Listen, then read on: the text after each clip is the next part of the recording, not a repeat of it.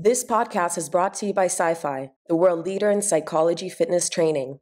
Sci-Fi is scientifically proven to help you optimize your physical, mental, and emotional performance through functional training of your brain, body, and breath. For the first time, have your own clinical psychologist, personal trainer, life coach, breathwork teacher, and mediation instructor all in one. Instead of having to wait months or even years for results, you get them in 75 minutes or less. That's the sci fi difference. Rewire your brain, retrain your body, and refocus your breath. Learn more at psyfi.nyc.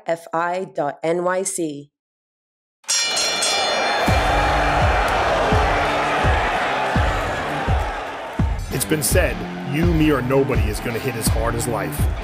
But it ain't about how hard you hit, it's about how hard you can get hit to keep moving forward.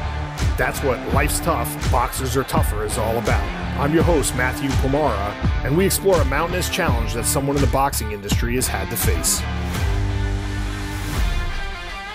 Today in the guest corner, he comes to us from Queens, New York, by way of Derry City, Ireland with an impressive record of 29 wins against only two defeats, with 18 big wins by knockout.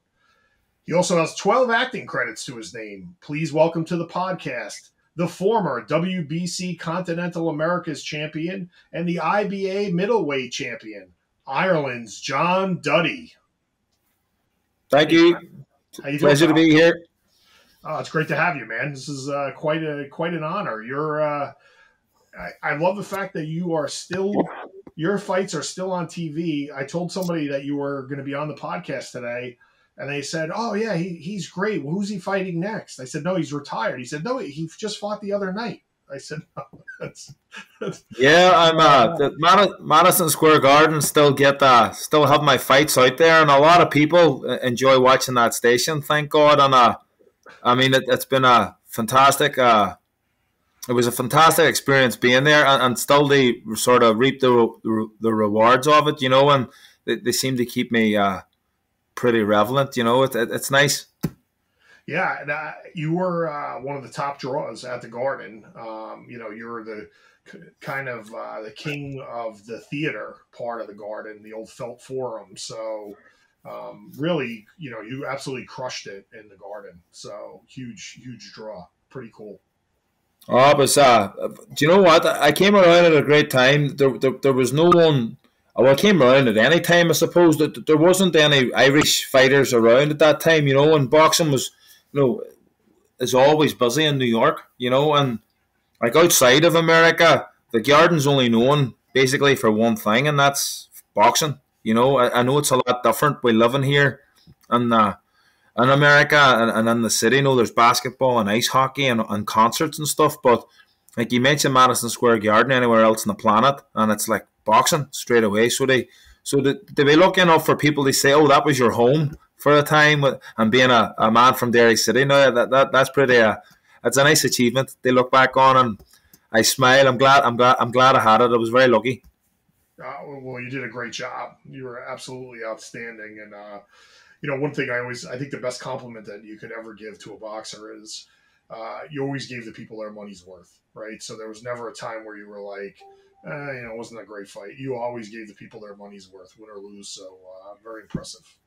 Well, I was lucky in the garden. I never lost once. So, yeah. well, probably fell out with a wife once. So maybe I lost that battle. but yeah, uh, I know it brings back great memories, you know. And uh, it's funny like it's over what it's 11 years now since I last bought I think it's 11 12 years the last time I boxed in the garden and, and people ask me do you miss it and, and I think about three or four years after I quit fighting I would have been like no no I don't miss it. Da, da, da. you know what? But I, I sit back now and I look back and it's like of course I miss it. It was a it's brilliant. I was living my dream you know? It was a fantastic time. But do you want to do it again? No. The, the sacrifices to get you there. I mean, uh, it wasn't just my sacrifices; it was my wife's sacrifices and the people around me and things like that. You know, um, you know, it wasn't just a, a one horse show. There was a lot of people that, that, that were around me that that surrounded me, and uh, there was a lot of ups and downs on it. But uh, I mean, it, it, I never looked back when I was doing it. It's only now when I look back and and they hear the reaction and, and people no, they give me a thumbs up and say fair play to you, man. Uh, it, it's uh, I feel honoured. It's well deserved.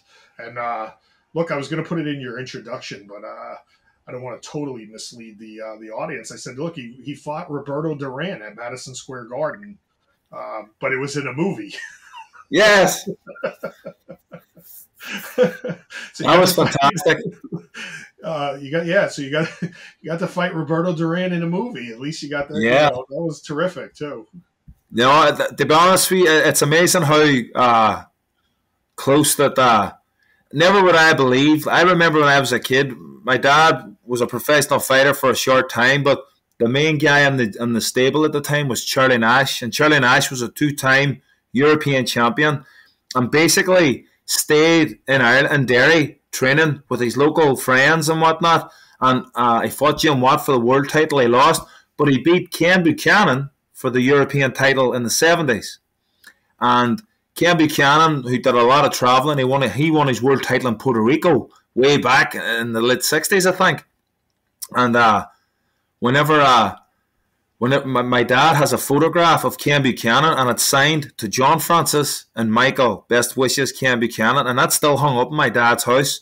And then, what, 30, 40 years later, I get to portray him in a movie. And I'm like, I'm playing the guy my dad was a sparring partner of. My former trainer beat him for a European title. And, and now I'm in sparring with, well, sparring. I've, choreographed fighting with Edgar Ramirez, who did a great job as Duran. I mean, it was a very surreal. So it was. It was a brilliant experience.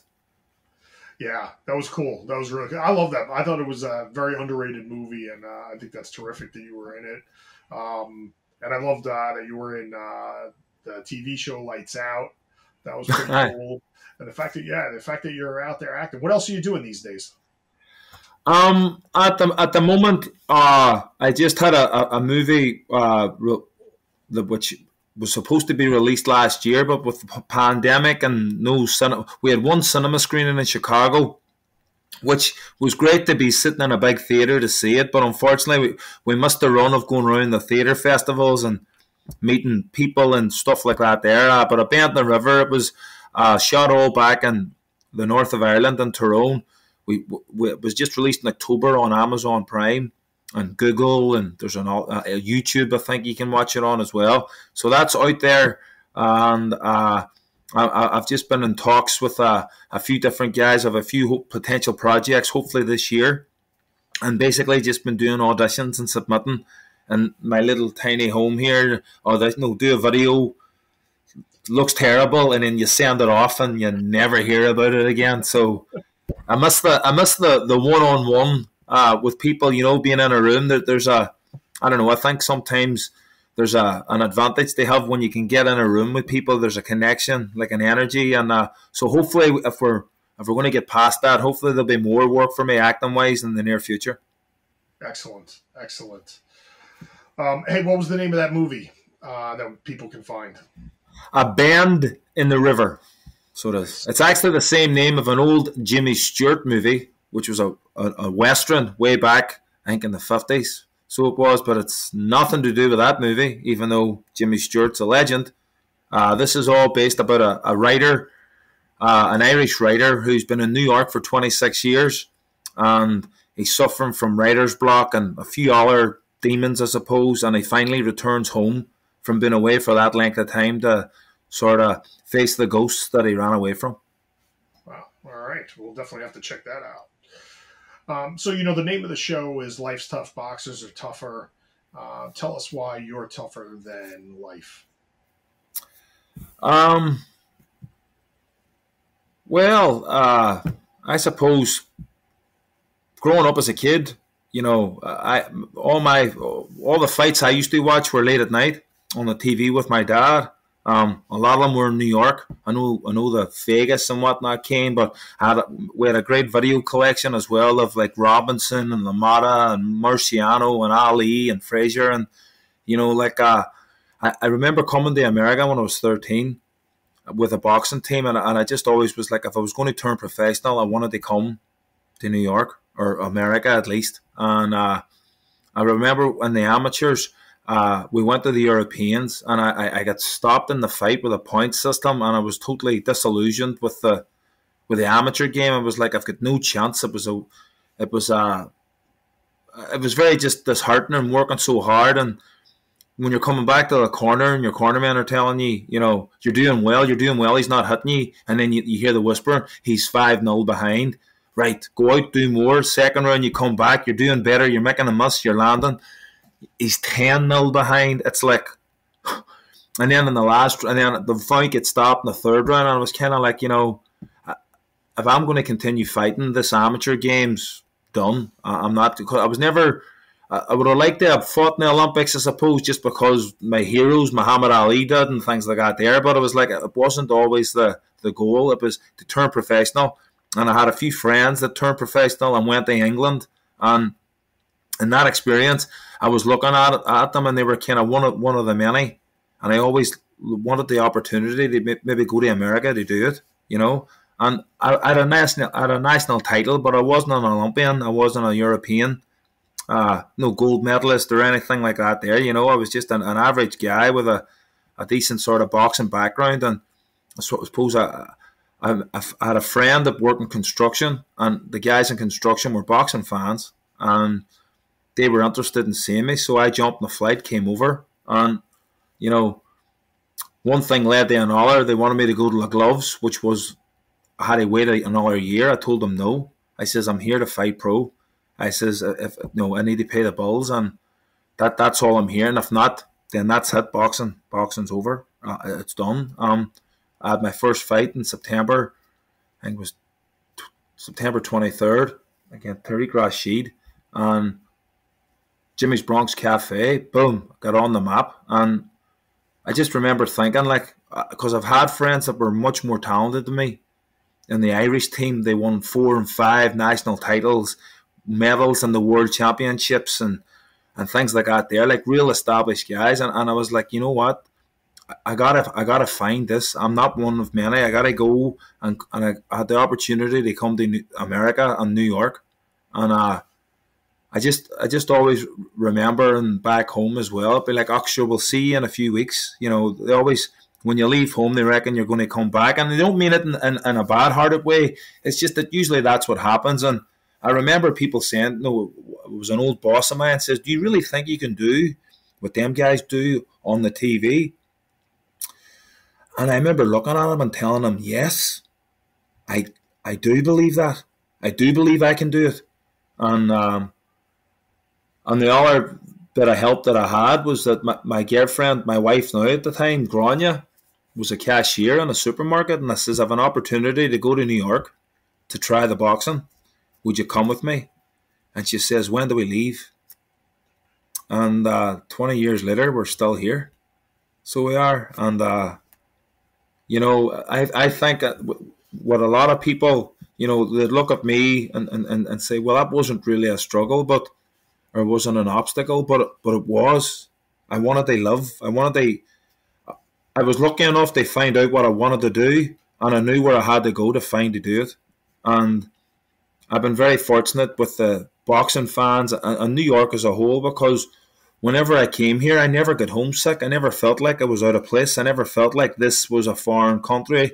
I mean, I, I couldn't get over the, the Irish connection and how proud people are to be Irish and associated with Ireland because where I grew up in the north as well, uh, no, if you were seen to be, if you were seen to be doing that, you'd be people would be thinking that you would be like, a, a you know, boasting or slabbering. No, being, and, and, usually that would instigate some kind of uh, reaction from some someone else, and it was never about that. And I think it was it was the first time where. Uh, whenever I came here, it was just like, wow, this is this is home this is where I can actually be myself and not and not be snow. Because for years I used to tell people I did a little boxing, and a friend of mine used to hit me and say, "John, how do you pay the bills?" I'm like, I, I fight.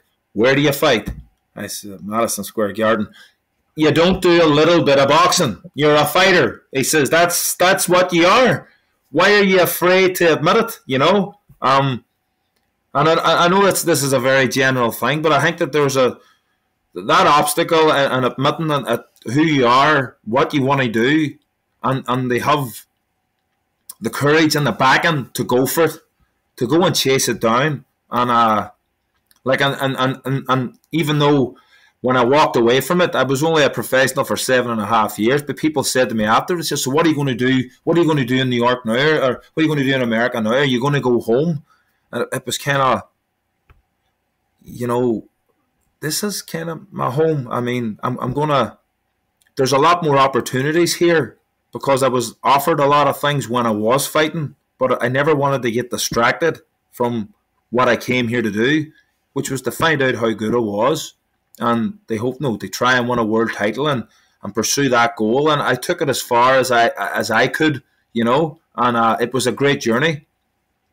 But then after that journey, it was like I sat back and all of a sudden the, the people that still saw me as a boxer, I mean, it wasn't.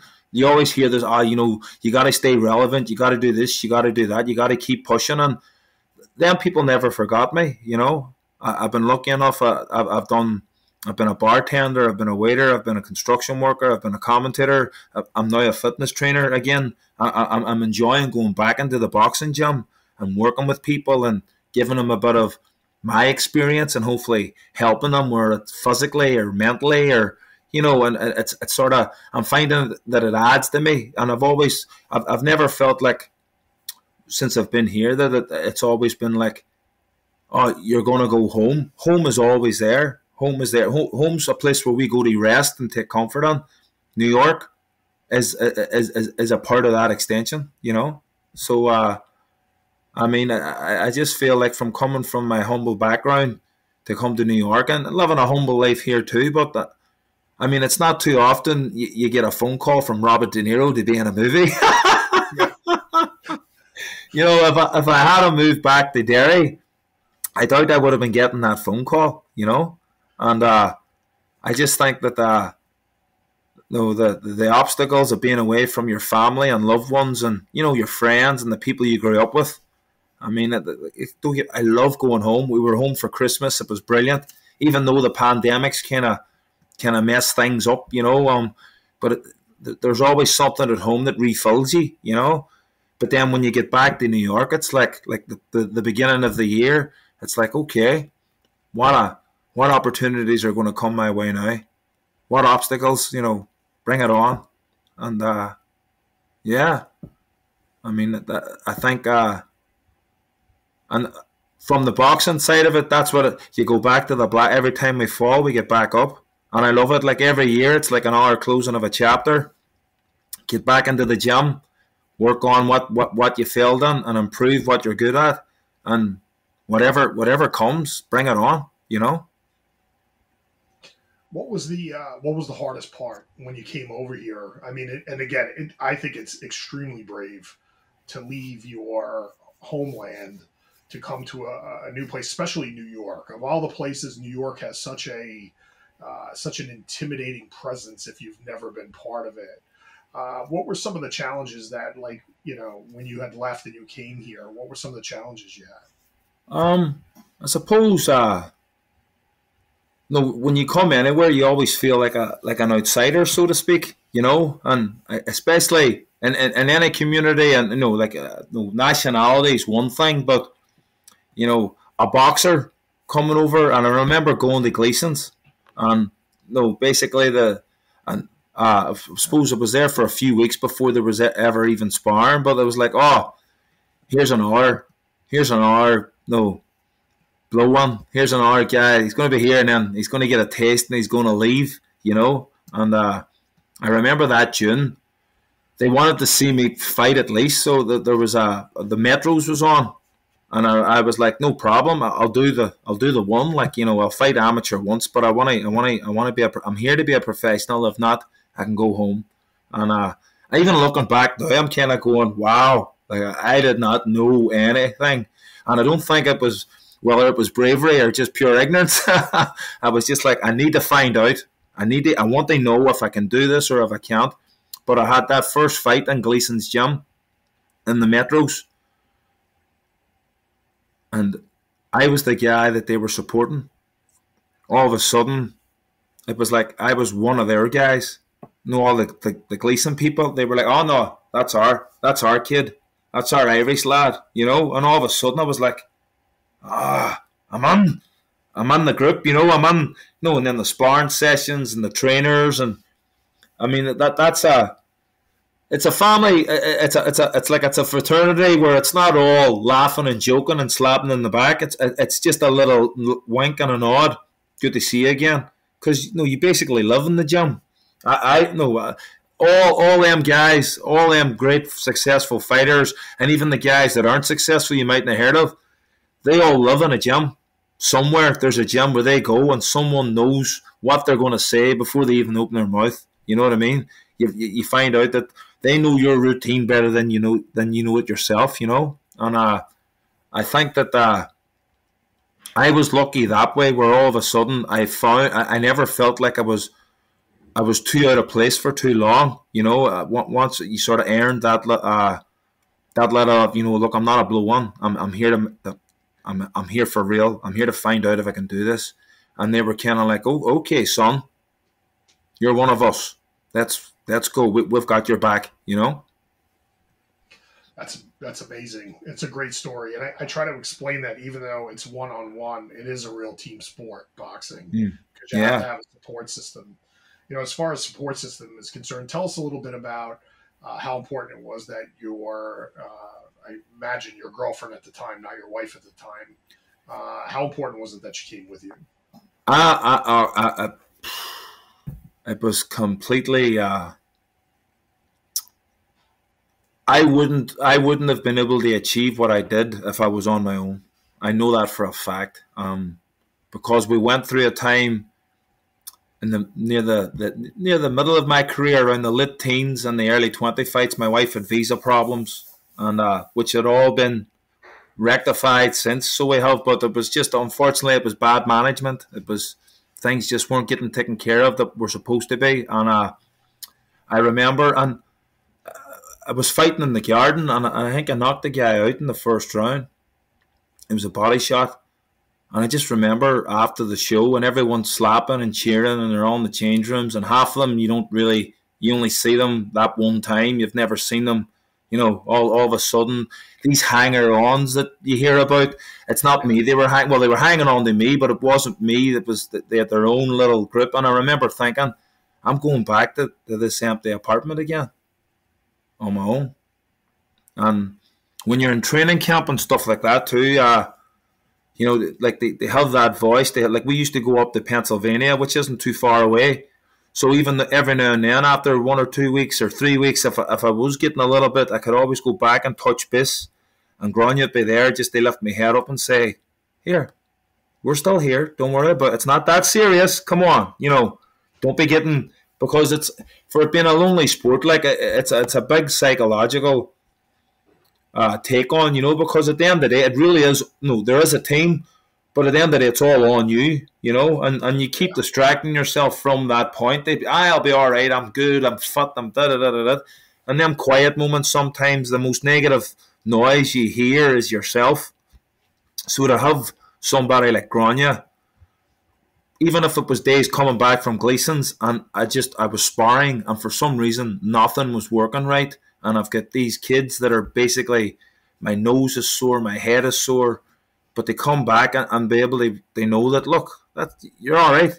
Don't worry. You get up tomorrow, you'll go back and you'll see the same guys again and you know, you sort of I wouldn't say take revenge on them, but no, you're you'll, you'll not be you know all of a sudden what you've been working on will work a little better than it was because you have your off days and stuff, you know, and uh, I just think just just having that waking up in the morning that, that's one of the reasons why I packed in the boxing too was because I used to love going to training camp. I used to love going away and out running around the hills in Pennsylvania or, or North Carolina and and and, and you know, training and just just eat, sleep, train, love that. And then all of a sudden, it was like I'm waking up in that empty bed, and I'm like, no, and you can't. No, I don't know. I'm like, I can't bring my wife to training camp. That's not fair. That's not right. You know what I mean? I'm like, you know, it's training camp, and uh, I remember even for the Chavez fight, I got the stage where after the first two weeks, it says, Harry, pack it up, going back to New York. Sure, I trained there long enough. I says, I'm not waking up in an empty bed no more. Nah, I, I can't do it. You know, uh, Grania was sacrificing as much, if not more, than what I know. I was in. Oh, it's all on me. She was in an empty apartment on her own while I was up there. You know, so I think it was totally. Uh, it was invaluable. I wouldn't have been able to do it if she wasn't beside me. You know.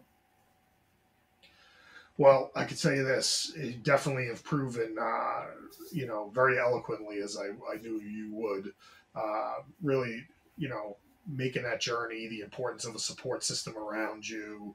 Um, and listen, it was it was a hell of a career. You did a you did a tremendous job, and you know, I, I think one thing a, compliment I can pay is that you didn't stay too long, right? Yeah. So a lot of guys stay too long, um, and you didn't. And uh, look, now you're uh, now you're going to be a big time actor, man. So that'll be pretty cool, and I'll get some well, on the podcast. We'll keep working at it, you know. So we will. That's one thing I says about the acting is that no, the, no, uh, I don't mind no getting criticised. I can always go back to the draw, back to the gym or, or, the acting class and work on my technique.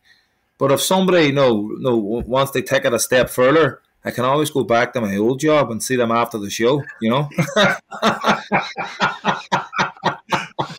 well, that's a great that's a great way to do it. And I hope uh, we're gonna we're gonna do uh, we're gonna do the fast five. Uh, series of five questions. Right. I'm hoping that you don't uh, beat me up after it. So I'm not going to beat you up. I, I I just thought about them far too much today. I swear to God, man, you shouldn't have sent them to me. I, I, I'm. I wish I had got these questions 20 years ago. I would have been bing, bing, bing, bing, bing. Well, we'll definitely, and, and, and by the way, I am going to throw a curveball too, so you should be good. Um, okay. All right. So you played hands. You played Ken Buchanan in Hands of Stone. Uh, any other boxers in history you'd like to play in a movie? And uh, what was your favorite boxing movie? My favorite boxing movie was Somebody Up There Likes Me. It was Paul Newman playing Rocky Graziano. And don't get me wrong, I love Rocky. I grew up with Rocky. Whenever the first Rocky came out, my mom and dad first started dating. You know what I mean? And so uh, Rocky was in our house all the time. Me and my dad, I was Rocky. My dad was Apollo Creed. He was down on his hands and knees when I was five. Do you know what I mean? I, I mean, the, the like and look how long, look look look how many years Rocky, uh, and then going into the Creed story as well. Yeah, I, I remember growing up, uh, even when I came to New York and the pro. Oh, I'm not Rocky. I'm not Rocky. And you know what? I'm kind of thinking I should embrace that a little bit more. You know, because it's a fantastic story. It's an amazing story, you know. But uh, if there was anybody that I would like to get, uh, if there was somebody I would love to portray, um, I don't know, myself. I, I, I, do you know what? I always, when I was a kid, but I always, I always used to pretend that I was Muhammad Ali or Sugar Ray Leonard or, you know, and don't get me wrong, pretend because you seen the way I fight. I ain't a pretty dancer, you know, but I can act like that, you know. But uh, I always remember being asked too about no, if there was anybody that you would love to fight, who would it be? You know, and I says, okay, I would love to meet the guy that invented insurance because I would beat the living crap out of him. because you pay all that money and they never pay out, you know.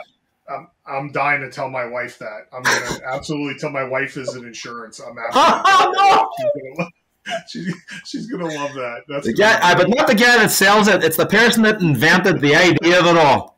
That's me. That's who. All right. Tell me everything insured. My God.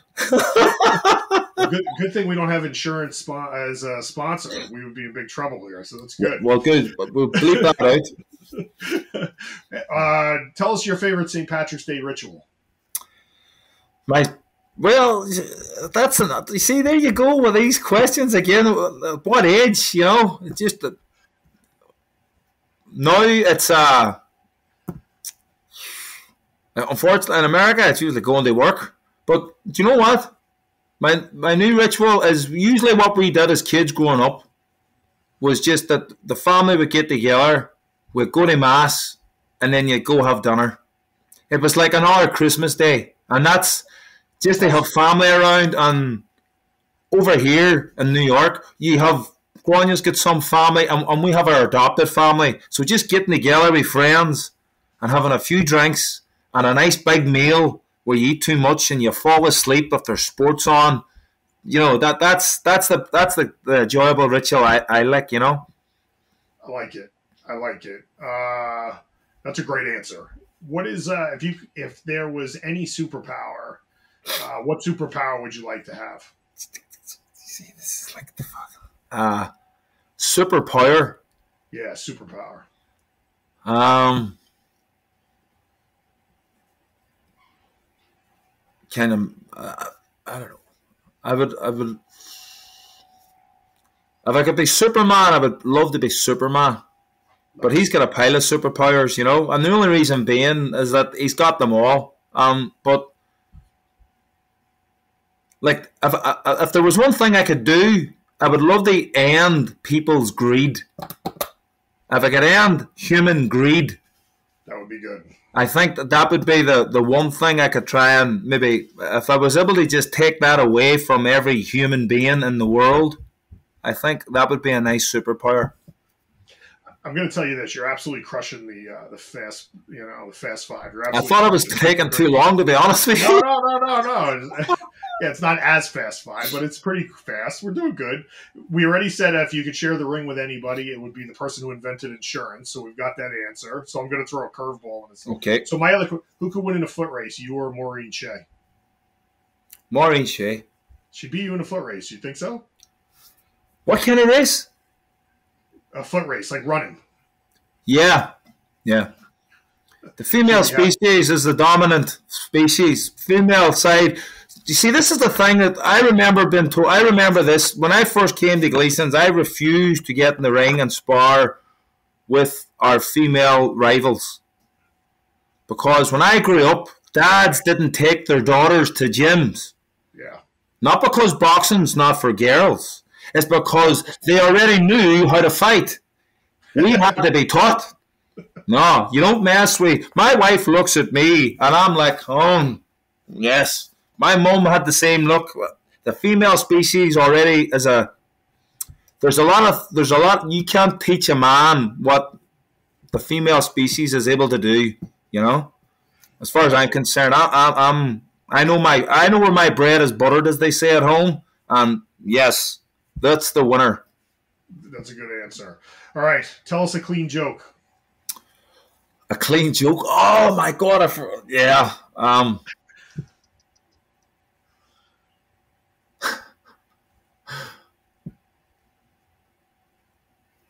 What I, I can't even remember it now. What did uh Do you know what Fraggle Rock is? Yeah. What did the Fraggle Rock say? when I got to the top of the hill. Tell us. I'm up it. I'm up it. there you go. That was great. That was great. My wife told me that, and it just came to my there. She's saving me again. Her voice is in my head, and she just I just whispered in my ear, and I'm like. well, I can't thank you enough. That was terrific. Where can we uh, where can we find you on social media? I am on uh, Instagram and Twitter and Facebook. Um, JF Duds is my name on it. The Duds, uh, JF is John Francis, JF, and the Duds is Duddy, but you drop the Y and put up an S. As a kid, when I was growing up, I was always known as Duds. So it was that was my nickname, you know, because there's a lot of Johns and stuff like that. So, but I'm on, I'm on, uh, as I say, I'm on Twitter and Instagram, uh, JF Duds one usually, and uh, you'll see this ugly mug probably in the photograph as well. And if anybody is bored on a Friday night or a Saturday night or any night, if you want to tune in and watch a Bend in the River, which is available on Amazon Prime, Google Play, and YouTube, so it is. Uh, I'd, I'd appreciate uh, your feedback if you if you check it and watch it out. Give us a wee comment or a wee thumbs up, uh, and if not, uh, just tell us what you think. Well, we'll definitely check it out, and uh, I'll try to check it out tonight. Actually, we're looking for something to watch, so it'll be on our list.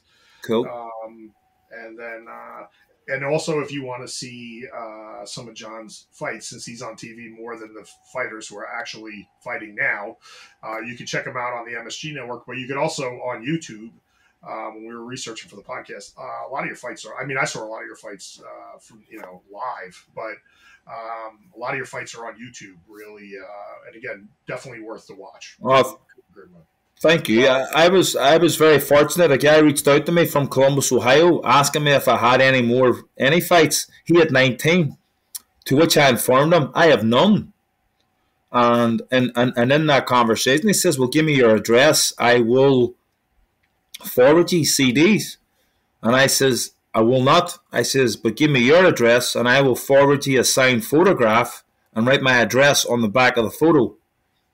And six weeks later, the CDs came to my house.